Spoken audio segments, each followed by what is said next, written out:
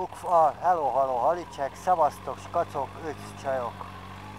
Na, azt mondja, megpróbálom fölvenni, ezen a rövid távon még boltba megyek a friss jogosítványosok kettő videót.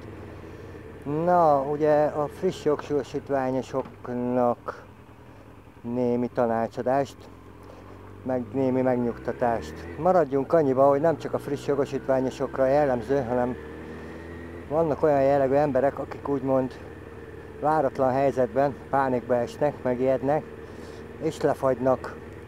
Általában ilyenkor mi szokott lenni a gond probléma? Ez.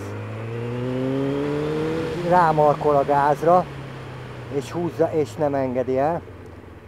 Vagy az van, hogy fogja, és belefékez izomból.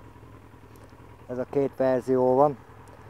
Hát Isten igazából a lényeg az, mindegy, hogy motoron, autóban, vagy hogy az élet milyen szituációjában, hogy nem megijedni kell, hanem felmérni a helyzetet, és gyorsan megtalálni arra a megoldást, vagy a kiutat.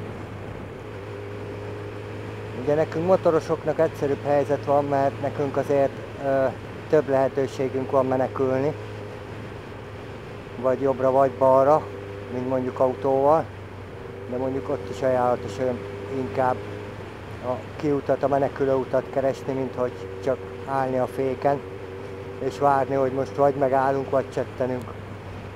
Tehát kezdő motorosoknak az alapvető hibája, és nem csak övéké, amint mondtam a videó elején, hanem azoknak, akik megijednek, és akkor lefagynak.